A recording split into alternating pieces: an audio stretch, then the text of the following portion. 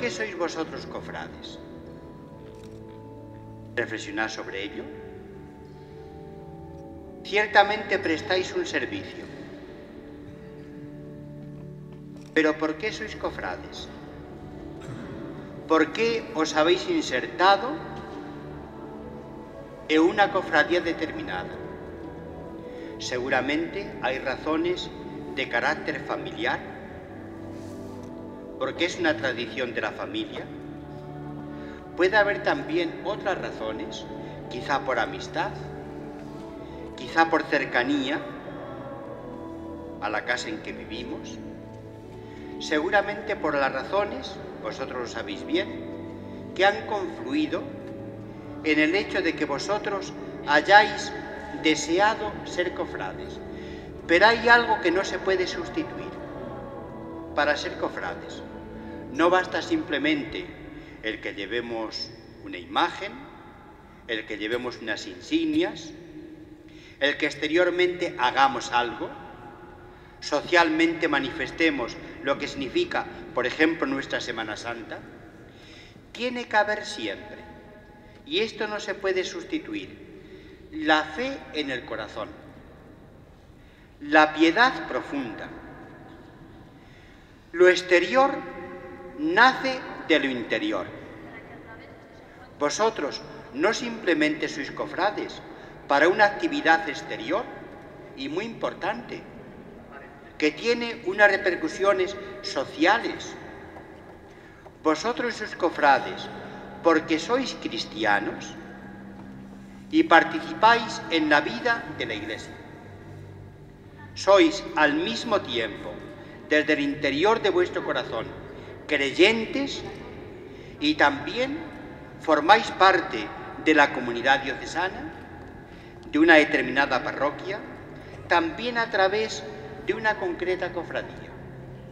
Las cofradías están en el marco de la Iglesia diocesana y las lecturas que hemos escuchado nos dan una ayuda preciosa para comprender cuál es vuestra misión. Desde dentro, que nace desde dentro, que no simplemente es algo que se realiza exteriormente para que nos vean, para prestar un servicio a la ciudadanía, que es verdad que se presta.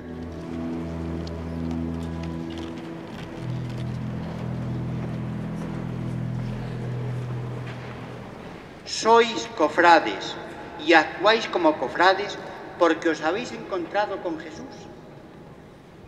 Si no sería pura apariencia, un servicio puramente social, porque vivís la fe desde el corazón, la manifestáis también. Y hay muchas formas de manifestarla. También efectivamente se manifiesta participando en las actividades, pensemos, oracionales, procesionales de una determinada cofradía. Pero que lo interior no sea ni solo supuesto, ni sea de ninguna forma excluido. Cultivamos lo interior para que se manifieste mucho mejor lo que significa vuestro servicio como cofrades. Esto estamos celebrando esta mañana, en este marco de la fiesta de Navidad cuando están lejos todavía las actividades que a veces acaparan mucho nuestra atención. Porque es bueno que en estos momentos cultivemos profundamente la fe para poder ser testigos de lo que creemos. En este sentido, a mí me parece muy bien la semana de reflexión cristiana de la piedad sobre la que significa la Semana Santa, que ya iniciamos el año pasado y hemos continuado este año. Es una iniciativa interesante que está en la misma onda que la celebración de esta mañana. Desde lo interior brota nuestra actividad. Y así se identifica. Y así cumplimos una misión, no solo en el interior de la sociedad, sino también en el interior de la Iglesia.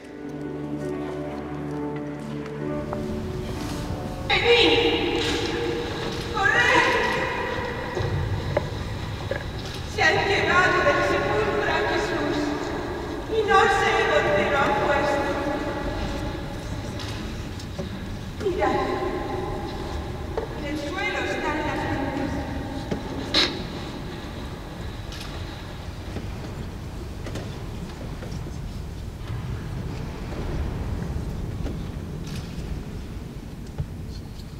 Mujer,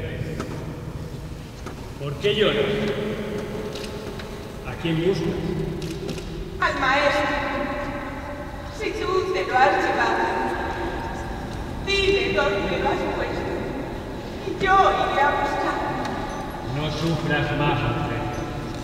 Y no busques entre los muertos.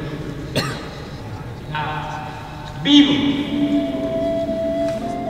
Gracias Jesús, porque nos sigues invitando a tu mesa para compartir el pan y el vino, alimentos de nuestra alma, como aquella noche en la que reunido con tus amigos celebraste la Pascua Redentora de toda la humanidad.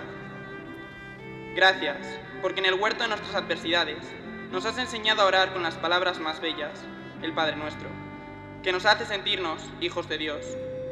Con tu inmenso amor secas las lágrimas de nuestro arrepentimiento y nos muestras un camino de luz que rompe las tinieblas del pecado y nos conduce a través de un sendero nuevo de alegría a la resurrección.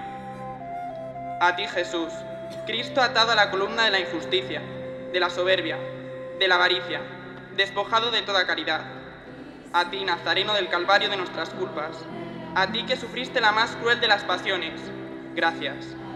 Gracias porque ofreciste tu vida en siete dolorosas palabras como sacrificio, entregándote sin condiciones a la voluntad del Padre, derramando tu preciosísima sangre para salvarnos. Gracias por apiadarte de nosotros y hacer de la muerte un tránsito hacia la vida eterna. Gracias, porque al pie de la cruz, desnuda de toda condición humana, nos diste el mejor regalo, a María, tu madre. Madre en la amargura, madre hinchada de piedad, madre que siguiendo al santo entierro, nos consuela y alienta ante un sepulcro vacío que ha vencido a la muerte. Y a ti, María, tú que viviste como madre la angustia y el dolor de un hijo humillado y maltratado, muerto y resucitado, para la salvación del hombre, que nos confortas y sostienes en los momentos de adversidad, te rogamos que nos ayudes a conseguir que cada uno de nosotros lleguemos a ser fieles a las enseñanzas de tu Hijo, Jesús, el Cristo, al igual que su discípulo amado.